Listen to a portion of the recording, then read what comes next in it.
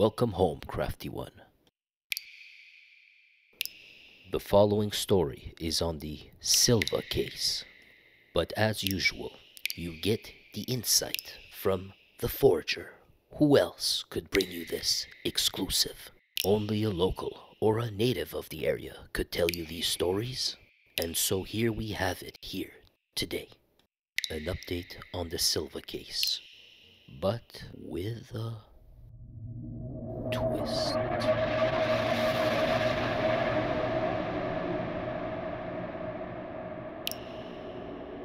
Dernière heure. Ici, Villeray à Montréal. Ce matin, et on craindrait pour sa vie. Hein.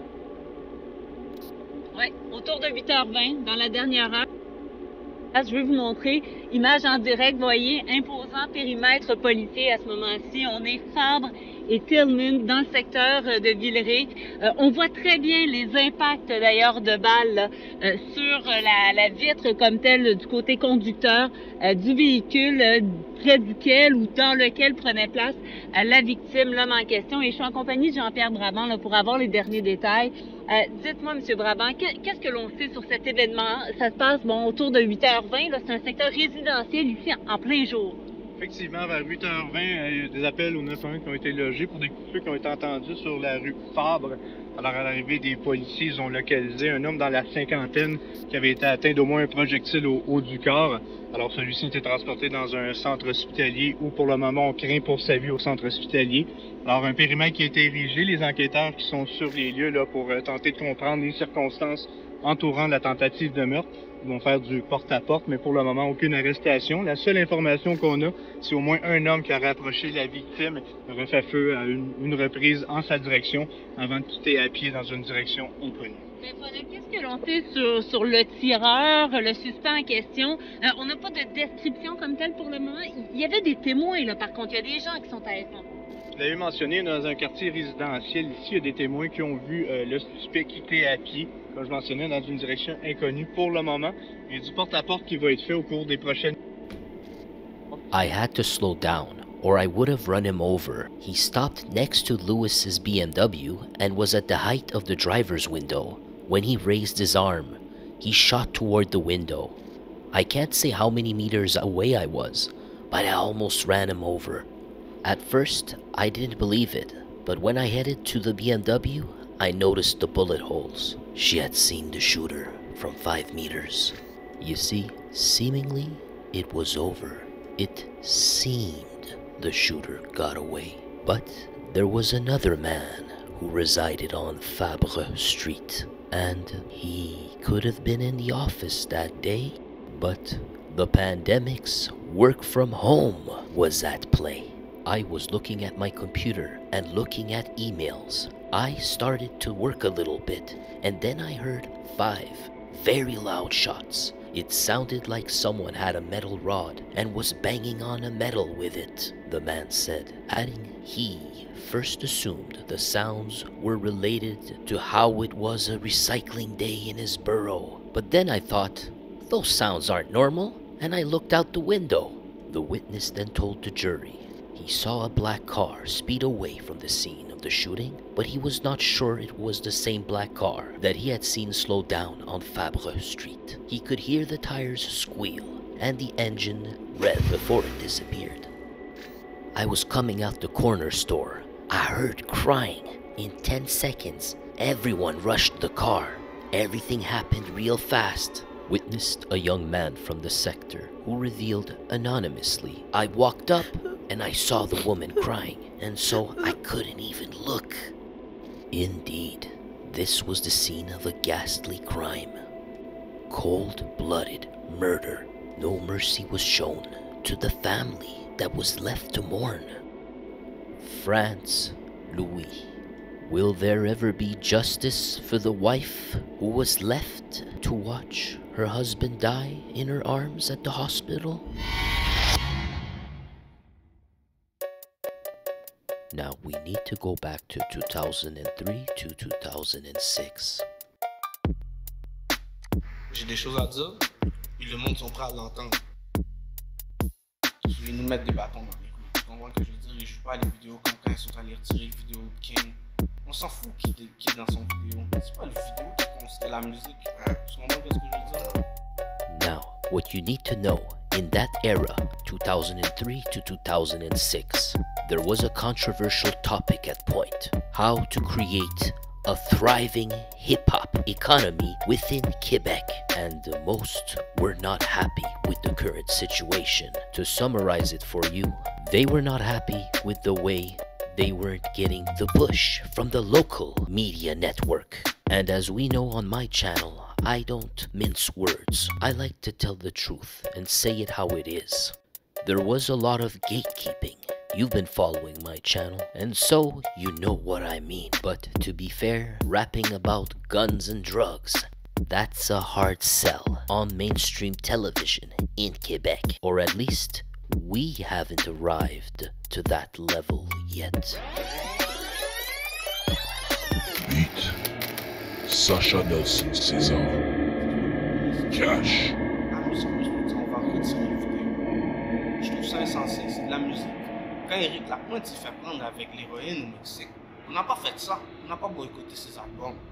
Quand telle autre personne s'est fait arrêter pour telle chose, on a boycotté leur album. Pourquoi? Kasheem grew to become a street legend, and the footage you see before you is when he was a progress at work. As it testifies, he was featured in a documentary about the Montreal hip hop scene.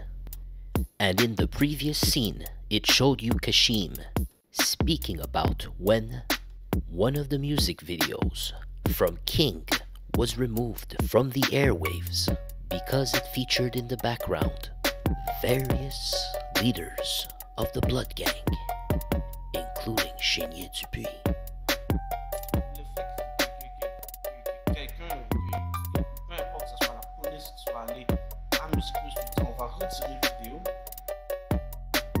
insensé, Eric Lapointe s'est fait prendre avec l'héroïne au Mexique,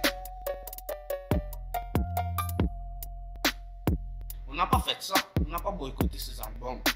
Quand telle autre personne s'est fait arrêter pour telle chose, on n'a pas boycotté leur album. Pourquoi nous? You know what I mean? Like they all our promoters that we have are all promoters that listen to hip hop that are pushing hip hop. Shaheed could do a lot more for hip hop. You know? yeah, but Shaheed is in his system. exactly. But Shaheed is in his system. quand Shahid est venu pour venir me- me- me- m'interviewer, son boss lui a dit non parce que les hip-hop ici au Québec a trop de... Comment il a dit ça encore? C'est trop négatif, alors faut pas rendre la chose encore plus négative. Goes home at the end of the day. You know what I mean? So let's work this music. Impliquez-vous dans quelque chose. man. Parce que dans le hip-hop, il y a de l'aspect, il n'y a, la- il y a pas l'aspect musical seulement. Il y a, l'aspect business. Tu peux prendre soin d'une maison de production, tu peux faire, tu peux, tu, tu peux, tu peux ouvrir des, des, des pour dupliquer les CD, tu peux, tu peux, tu peux devenir manager, tu peux faire des spectacles comme, comme, comme les gars de Ground Up ils font, tu peux faire des DVD. Yo, il y a plein de choses que tu peux faire. Le plus que tu fais, le plus que ça ouvre des portes à tout le monde pour comprendre qu'on peut tout manger là-dedans. Tu comprends ce que je veux dire? Il y a même les street things. Yo, there's a whole lot to do, man. Faut arrêter de niaiser puis penser que yo, la maison de disque, elle va régler ça. Moi, même moi, c'est Shing avec une maison de disque. The best to know. Je duplicate my own shit and I'm selling out the chunk of my car. We gotta change Montreal. You know what I mean?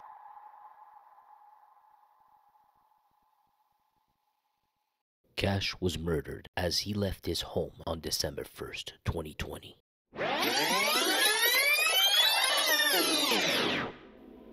By now, you've surely heard of Andrew Scoppa or the Scoppa brothers. And I've also shown you Blood, Mum Point, Arsène meeting up with him, and we have covered in the Scoppa files. Andrew was a big supplier of heroin. And so, what you need to know Sacha or Cash was suspected of dealing heroin. Where do you think he got that from?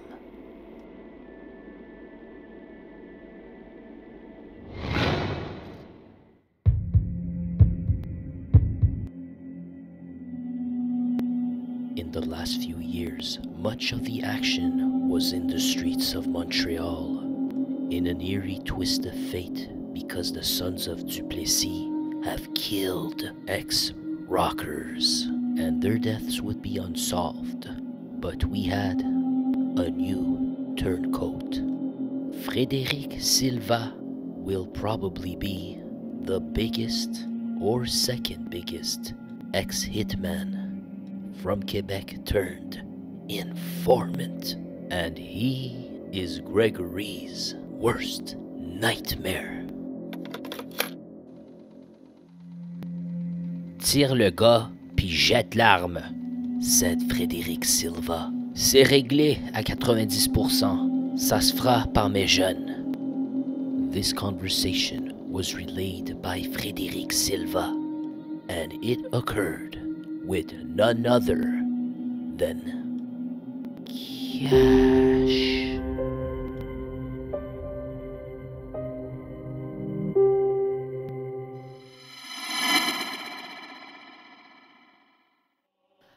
his arrest in February of 2019, Silva was incarcerated at the Bordeaux prison and he had access to a cell phone in which he admitted to having given one contract for murder, and it was none other than France Louis. You see, the mob had subcontracted part of their activities. France was involved in a loan sharking operation, or gambling, or simply extortion. But that scheme went bust, and they were cleaning house. After years of benefiting from the underworld, it was time for France Louis to say goodbye. The game of musical chairs reaps its next victim. But as often is the case, the one lifting the chair shall be the one to sit on it someday. In November of 2020, France was killed for a sum of $100,000. Frédéric Silva also says he furnished two weapons to Nelson César, was supposed to use that AR 15 or an M4 or a 9mm in case the first jammed. And the police asks him, Why? Why would you use an assault rifle? To which Silva replied, I wanted to leave a big message to everyone. But weren't you not worried about hitting innocent victims? The cops asked.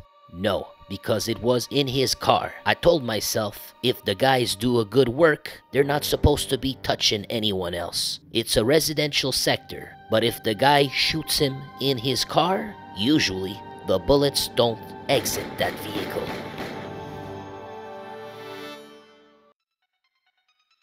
Monsieur Frédéric Silva, tell us, did Cash actually use those firearms? Well, I told him, shoot the guy, then throw the damn thing. I want to be able to see it in the news. I wanted it next to the car, but I didn't see it. Did he actually use it? I don't even know. Then, Monsieur Silva, tell us, in that environment, what impact does it have to kill someone with a long arm rather than a handgun?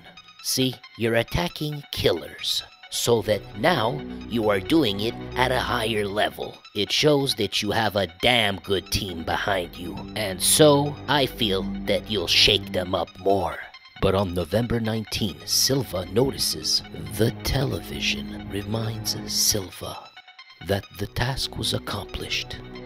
Then he communicates with Cash to let him know he's satisfied, but he doesn't ask the question if he used the guns at all, as requested.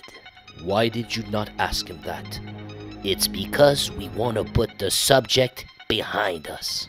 You see, as we approach the deadline for payment, we speak about it less and less. And once it's paid for, we throw our phones away and forget all about it. Then Silva pays Nelson Cesar the $100,000. And Nelson Cesar, or cash, he had to pay the others.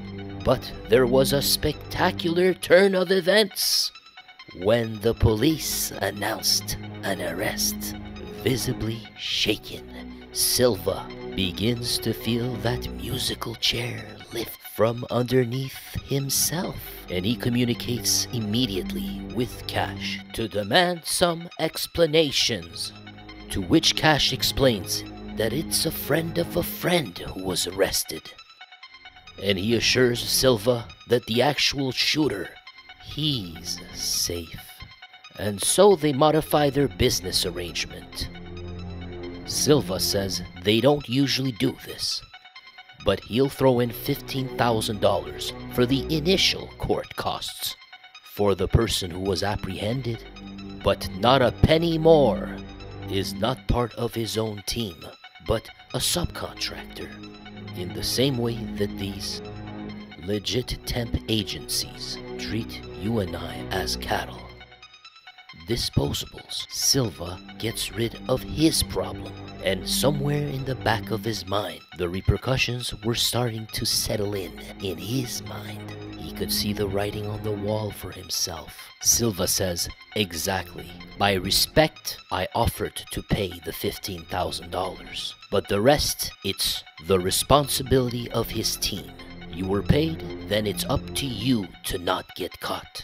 And those words become a laughing matter when you consider the fact that it was Frédéric Silva's own mistake. A rather stupid one, highlighting the little man behind that persona. He was dumb enough or too scared to go to a party in NDG without his gun, and so he shot a Concordia University student there at a bar in front of cameras, and then history writes itself.